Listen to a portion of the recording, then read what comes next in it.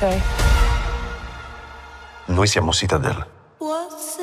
Hello friends, this is Reem Shah. I hope you are fine. Welcome back to the channel. The trailer for Citadel, Diana 2024, opens with a captivating night scene. The city skyline glittering against a dark sky, punctuated by the rhythmic pearls of neon lights. Standing alone on a rooftop is Diana, portrayed by Matilda De Angelis. Her silhouette is sharp and her gaze is piercing, hinting at the turbulent journey that lies ahead. As the music swells, the camera dives into the heart of the city, following Diana as she navigates through bustling streets and shadowy alleyways. Every step she takes exudes confidence and purpose. De Angelis' portrayal of Diana is both fierce and nuanced, capturing a character who is as enigmatic as she is formidable. The trailer deftly blends high stakes action with moments of introspection. Diana is shown in intense combat scenes, her moves swift and lethal, showcasing her prowess and determination. Explosions, car chases, and close quarters battles inject adrenaline into the narrative. But it's the quieter moments that truly resonate. Scenes of Diana in solitude, reflecting on her past, add depth to her character and hint at the personal demons she's battling. Flashbacks provide glimpses into Diana's backstory story. We see her rigorous training, the losses that have shaped her, and the moments of vulnerability